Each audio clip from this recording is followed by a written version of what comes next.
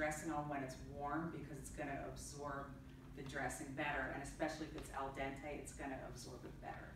Um, and then you would cool it off. When it's cold, what's nice is that it's digested more slowly. So it's going to slow down the release of carbohydrate into your bloodstream. So if anyone's diabetic or you're concerned about controlling your blood sugar, um, when pasta is cold, same thing with potatoes, it's gonna change the structure of the starch too and make it more beneficial.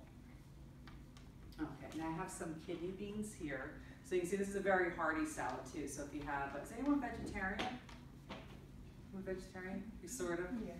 A, what a, a flexitarian, right? Sometimes you're vegetarian, yeah, depending on your environment or, so, so this is gonna be a very hearty salad, which is nice, so, um, so if you're going to a party, for example, if you wanna bring something, maybe you don't want burgers on the grill, so you can bring something, but make a lot, cause you'll see everyone's gonna eat your salad, because it's gonna be so beautiful and tasty, and then you're not gonna get any for yourself.